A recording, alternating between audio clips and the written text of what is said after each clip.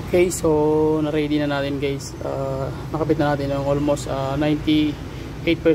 So yung takip na lang kulang dito. So ang gawin natin, papandalin natin guys. Okay.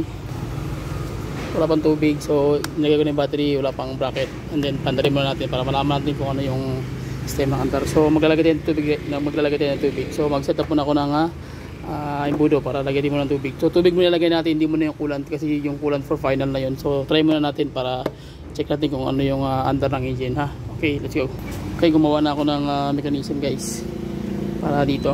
Set up muna. So okay. Ayan. Lagyan tubig. Yun. Pagpa-under natin check natin kung uh, anong mangyari sa tubig nya okay diretso bleeding yan guys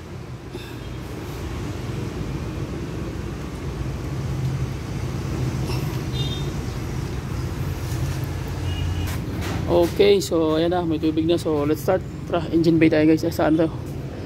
Sa harap ng ano, susian. Okay. On position. Park. Okay. Ako na guys, start natin.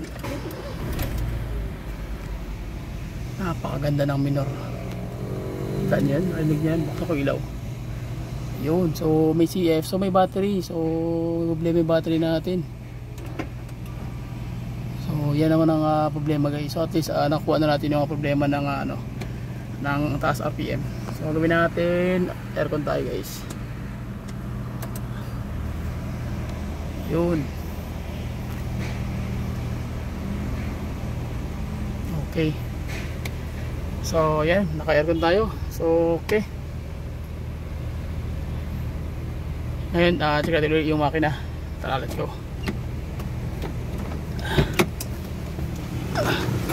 yan so far nag-bubbles pa pero mawawala din yan.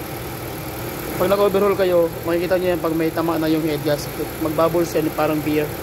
Maliliit na bubbles. So far uh, bubbles na pa konti-konti ibig sabihin okay tira natin. Okay?